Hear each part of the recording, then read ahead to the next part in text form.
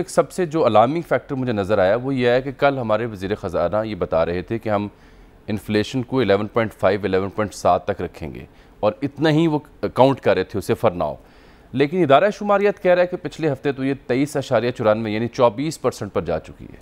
देखिए, जो दो तरीके होते हैं। आप जब आप इन्फ्लेशन है तो उसको भी पहले समझ लीजिए कि हम कैलकुलेट कैसे करते हैं।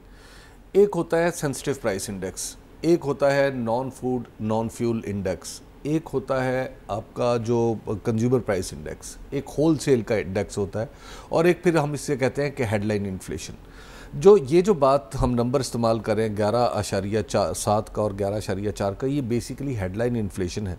और ये अभी जो इन्फ्लेशन के नंबर्स आ रहे हैं, ये एक हफ़्ते के हैं। अब अगर इसके बाद बजट के बाद कीमतें मुस्तकम होना शुरू होती हैं और अगले हफ़्ते कोई चेंज नहीं आता या बहुत माइनर सा चेंज आता है तो उसके नतीजे में हम देखेंगे कि इन्फ्लेशनरी प्रेशर्स जो हैं, वो कम होना शुरू हो जाएँगे। अभी चूँकि रिसेंटली बहुत ज़्यादा तेल की प्राइसेस बढ़ी हैं और तेल का बहुत मेजर चंक होता है जो प्राइस इंडेक्स में तो इस वजह से उसमें मे, मेजरली इजाफा आपको नज़र आ रहा है।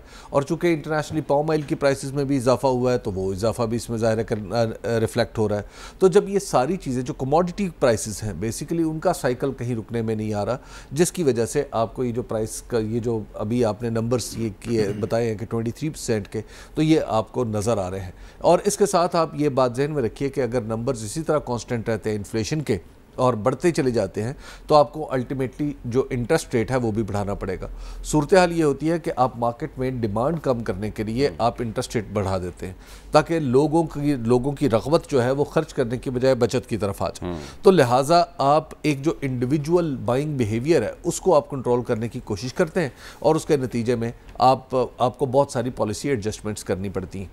जामी साहब ये जो हाई इन्फ्लेशनरी प्रेशर्स हैं ये आप उस वक्त से डरिए कि जैसे ये कहीं खुदा न खासा सुपर इन्फ्लेशन की तरफ़ ना चला जाए। बात ये और उसकी जो एक क्लासिकल एग्जांपल है वो, वो है अर्जेंटाइन। हम्म। अर्जेंटाइन में क्या हो रहा है? अर्जेंटाइन में ये हो रहा है कि वहाँ पे इन्फ्लेशन जो है रियल इन्फ्लेशन जो लोग कैलकुलेट करते हैं वो फिफ्टी परसेंट का है। फिफ्टी परसेंट का और जो हुकूमत ने आईएमएफ और वर्ल्ड बैंक के साथ मिल के जो इदारा बनाया है कि वो ताकि रियल इन्फ्लेशन को सामने ला सके हम्म। वहाँ पे वो जो इन्फ्लेशन बताता है वो ट्वेंटी फाइव परसेंट का है हम्म। अच्छा इतने इन्फ्लेशन के नतीजे में होता ही है कि आपकी करेंसी के ऊपर बहुत ज़्यादा प्रेशर आ जाता है। अब वहाँ पे आप जो अर्जेंटाइन पीसो है वो भी तकरीबन हमारे बराबर पहुँचा हुआ है। जी। तो वो मतलब दो सौ दस रुपये टू वन डॉलर दो सौ दस पीसो टू वन डॉलर है। अब होगा क्या? वहाँ पे क्या हो रहा है? वहाँ पे ये हो रहा है कि हाई इन्फ्लेशन ने एक्चुअली जिसको आप सुपर इन्फ्लेशन साइकिल कहते हैं उसने डिमांड को बढ़ा दिया मिसाल के तौर पे मुझे इस एनक की ज़रूरत नहीं है। हम्म। लेकिन मैं इस खौफ से दूसरी एनक खरीद लूँगा कि ये कल महँगी हो जाएगी। महँगी हो कल महँगी हो हाँ, जाएगी। हाँ। तो लिहाजा इस तरीके से एक आप यूँ कहिए कि इंडिविजुअल लेवल पे एक होर्डिंग का एलिमेंट या run run on the market वाली कैफियत जो है वो पैदा हो जाती है। ज़रूरी है ऐसी प्रोडक्ट कई ऐसी प्रोडक्ट्स पाकिस्तान में भी थी जो बजट से पहले पंद्रह बीस दिन पहले लोगों ने होर्डिंग की उसकी। होर्डिंग की। इसी चक्कर में अच्छा अब आप होर्डिंग का जो होर्डिंग है वो खाली ये नहीं है कि एक होर्डर है एक ताजर है उसने अपना गोदाम भर लिया है। तो इंडिविजुअल लेवल पे जब आपका ये ये तासुर इतना गहरा हो जाए कि कीमत कहीं खड़ी नहीं हो पा रही आपका रुपया और डॉलर की पैरिटी कहीं कायम नहीं हो पा रही तो उसके नतीजे में फिर हर आदमी होल्डर बन जाता है। बिल्कुल आबिद साहब के पास भी चलते हैं। ये सुलह साहब हबीब साहब तो उन ख़तरात का ज़िक्र कर रहे हैं जो दरपेश हो सकते हैं इन्फ्लेशन जिस तरह से तेईस इशारे चौरानवे पे इदारा शुमारियात इसे काउंट कर रहा है। फाइनेंस मिनिस्टर जो हैं वो उसे ग्यारह अशरिया पाँच या सात तक कल बता रहे थे और यहाँ तक मेंटेन करने का दावा कर रहे थे। मुझे हबीब साहब ये समझ नहीं आ रही कैसे मेंटेन होगी? देखिए वो एवरेज की बात हो रही है ना। अभी एवरेज की बात जब हमें अभी नहीं नज़र आएगा ये जब एक साल गुजर गुजरता है यानी आगे आगे आप दो तीन महीने चलेंगे जब बजट सर आपने साठ रुपया इजाफा कर दिया पेट्रोल में बिजली आपकी पच्चीस अभी आपने मजीद बढ़ानी है। गैस भी महँगी होगी। पेट्रोलियम पर जो लीवी है वो आपने तीस से पचास रुपये कर दी। इसका मतलब है मजीद इंक्रीज होगी अभी तो बहुत कुछ होना है। अभी अब चूँकि आप रोज़ाना की बुनियाद पे देखें चंद दिन पहले बल्कि तीन दिन पहले क्या सूरत हाल थी? तीन दिन पहले ये सूरत हाल थी कि लोगों की लाइनें पेट्रोल पे लगी हुई थी। क्यों?